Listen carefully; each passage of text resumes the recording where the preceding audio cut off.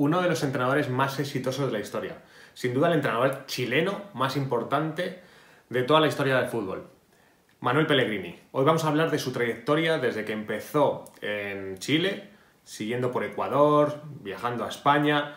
Hoy vamos a analizarlo todo aquí, en Aprende Entrenando. Vamos a ello.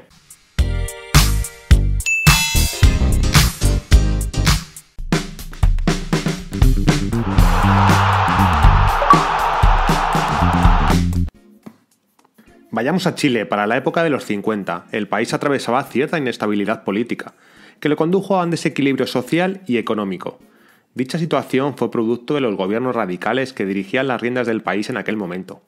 Es en esa década, en el año 1953, cuando nace Manuel Luis Pellegrini. Los orígenes de la familia Pellegrini son italianos. Los abuelos paternos de Manuel eran nativos de Picerno, pequeña localidad de la provincia de Potenza, en Basilicata, que habían llegado a Chile debido a los desastres que dejó en Europa la Primera Guerra Mundial.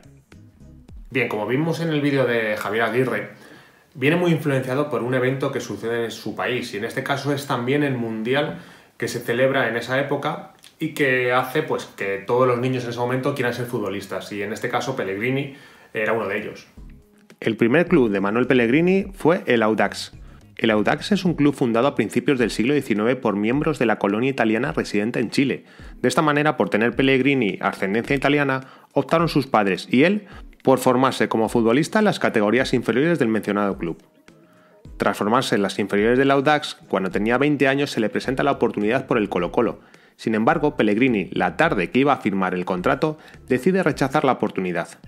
Así fue como en ese mismo año, en el 73, la Universidad de Chile le ofrece contratarlo, oferta que esta vez aprovechó el chileno. Pellegrini, en palabras de sus compañeros, era un defensa limitado, pero de un gran esfuerzo. Prueba de ello es que se quedaba hasta una hora después de los entrenamientos practicando cabezazos y siendo diestro, remates con la pierna izquierda. Bien, aquí tenemos un dato muy curioso y es que, eh, dicho por el propio Pellegrini, su pierna derecha dice que tenía algo ahí que le hacía golpear torcido. Entonces al final se vuelve un experto en golpeos con la pierna izquierda. Hasta tal punto que se llega a perder la noción si era zurdo o diestro. Manuel compaginaba su trayectoria como futbolista profesional con estudios de ingeniería civil. De esta manera, en el 78, siendo a un jugador de la Universidad de Chile, logra titularse como ingeniero. En ese sentido, para el momento tenía una doble vida, futbolista e ingeniero. Al respecto, el propio Pellegrini expresaba que se levantaba a las 7 de la mañana para supervisar las obras y luego se iba a entrenar, para volver después del almuerzo a su oficina de ingeniería. Allí trabajaba hasta las 9 o 10 de la noche. Estuvo con el Club Universidad de Chile durante 13 temporadas, en donde disputó 451 partidos y anotó 7 goles. Pellegrini se convirtió en el cuarto jugador con más partidos en la historia de la Universidad de Chile. Bien, aquí hay un dato también muy curioso y es que al final ves que todo se enlaza. Y es en este caso en el que el partido en el que se retira Pellegrini es en un partido en el que hay una jugada en la que el portero rechaza el balón hacia arriba y al competir por el salto lo pierde con un jugador de 17 años. Y ese jugador de 17 años era Iván Zamorano. Mientras era jugador, en 1985 Pellegrini ya se visualizaba como entrenador. Por ello, en sus últimos años como jugador activo, viaja a Italia para formarse como entrenador. Como la licencia solo permitía a clubes semiprofesionales y Pellegrini quería dirigir clubes de primera división en Chile, tuvo que validar su licencia ante la Federación de Fútbol y el Colegio de Entrenadores.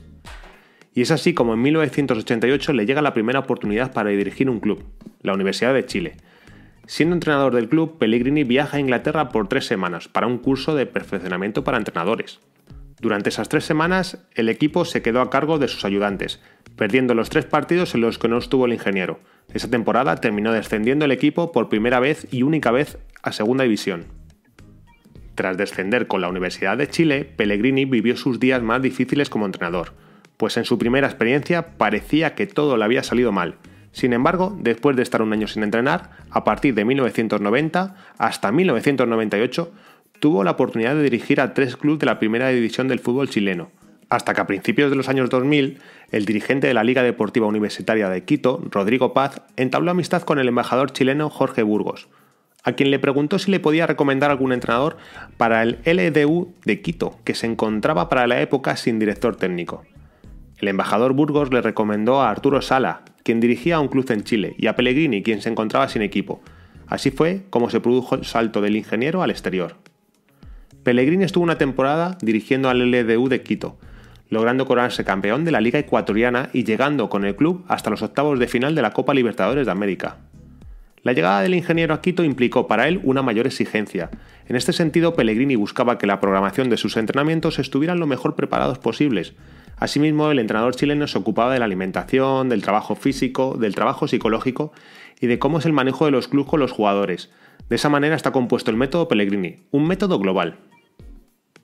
El buen paso de Manuel por Ecuador lo llevó a Argentina de 2001 a 2003, a San Lorenzo de Almagro y a River Plate, con San Lorenzo ganó el campeonato de clausura del 2001 y consiguió el primer título internacional en la historia del club, la Copa Mercosur. También en ese año, además, logra dos récords históricos que continúan vigentes en el fútbol argentino, mayor cantidad de puntos en un torneo y mayor cantidad de victorias consecutivas. De San Lorenzo pasó a River Plate, donde ganó el campeonato de clausura en 2003. Además fue subcampeón de la Copa Sudamericana del año 2003. Bueno, y aquí, tras sus éxitos eh, alcanzados en Sudamérica, eh, hay un, momento en el que sus colaboradores hablan de cómo son los métodos de Pellegrini y dicen que principalmente a lo que se debe todo el éxito es a su convicción y a su foco en intentar hacer las cosas bien. Él no entiende un punto medio, siempre intenta llegar al máximo. Entonces eso le ha permitido crecer y crecer y crecer. Y vamos a continuar viéndolo porque ahora vienen partes muy interesantes. Mientras dirigía en Sudamérica, permanentemente observaba el fútbol europeo. Por ello, mientras estaba en Quito, el ingeniero estudiaba idiomas, perfeccionando el inglés y el italiano, siempre pensando que en algún momento llegaría a entrenar a clubes de Europa. Los buenos resultados del ingeniero en Sudamérica le hicieron dar el gran salto a Europa. Así pues, el Villarreal, club que cuatro años atrás había ascendido a Primera División Española, lo contrató como su nuevo entrenador en 2004. Con el submarino amarillo, Pellegrini estuvo cinco temporadas, donde logró la Copa Intertoto en 2005. Sin embargo, lo más significativo es su travesía con el Villarreal, fue que alcanzó por primera vez en su historia la clasificación a la Champions League, tras terminar tercero en la liga y eliminar en fase previa al Everton inglés. Aún más, en aquella edición de la Liga Campeones llegó a semifinales, cayendo a manos de Arsenal. Por otra parte, logró el hito más grande hasta ahora del cuadro amarillo, el subcampeonato de la liga en 2008, Aquel equipo contaba con jugadores como Juan Román Riquelme, Diego Forlán, Santi Cazorla, Marcos Sena.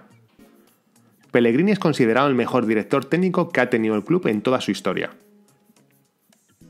Bien, en Villarreal hay una frase que suelta y es que él nunca se fija en el rival para planificar un partido, siempre se fija en sus propias condiciones y en cómo puede superar al rival, pero partiendo de sus condiciones, es decir, no presta excesiva atención a cómo juega el rival, sino a la manera en la que puede hacerle daño con sus propias armas en función de cómo está organizado el rival, pero nunca pensando en cambiar sus fichas eh, en función de si el rival juega con un sistema o tiene una, una mayor circulación por un perfil del campo. Eso no lo tenía tanto en cuenta como sí hacer daño con sus propias armas.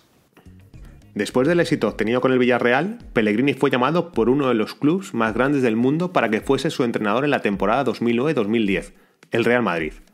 Pese a que no consiguió títulos con los merengues, dejó varios logros entre los récords históricos del club en aquel entonces.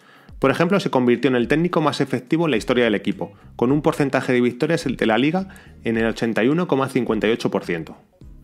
Como comprenderéis, este dato no es algo que sea muy relevante. Si ganas menos que el primero, no eres el primero. Tras salir del Madrid en 2010, arribó al Málaga, con el objetivo de salvarlo del descenso. Aquella temporada logró el objetivo, permanecer en la primera división. En la temporada siguiente, 2011-2012, el conjunto blanquiazul tuvo la mejor temporada de su historia, con una serie de contrataciones de la talla de Ruth Van Nistelrooy, Jeremín Tololán, Joaquín Sánchez y Santi Cazorla. El club terminó en el cuarto lugar de la liga, la mejor campaña en los 100 años de historia del Málaga. Y eso no es todo, también clasificó al cuadro malaguista por primera vez en su historia en la Liga de Campeones, situándolo en cuartos de final tras haber dejado en el camino a gigantes como el AC Milán. En 2013 deja España y llega al Manchester City, cuadro con el que estuvo la Copa de la Liga y una Premier League.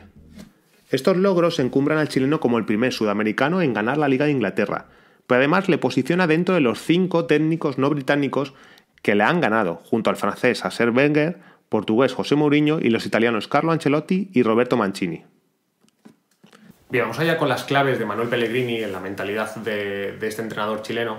Y es que la primera es vocación, vocación por amar lo que estaba haciendo y él tenía muy claro que quería tener su vida ligada al fútbol, ya sea como jugador o como entrenador. Y eso le permite tener claro que debe prepararse y debe mantener una línea constante de, esfuerzo y por eso no huía en tener que viajar a otros países para aprender, en estar muy pendiente de cómo funcionaba el fútbol en otros países, porque si en algún momento le llegaba la oportunidad debía estar preparado.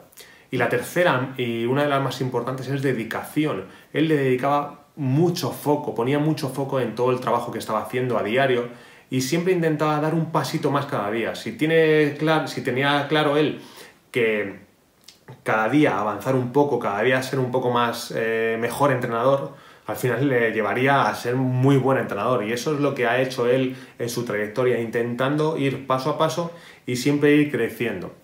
Así que nada, eh, espero que te haya gustado el vídeo, si así ha sido dale like y suscríbete al canal si no lo has hecho ya para no perderte los siguientes vídeos que vienen. Bueno, chao.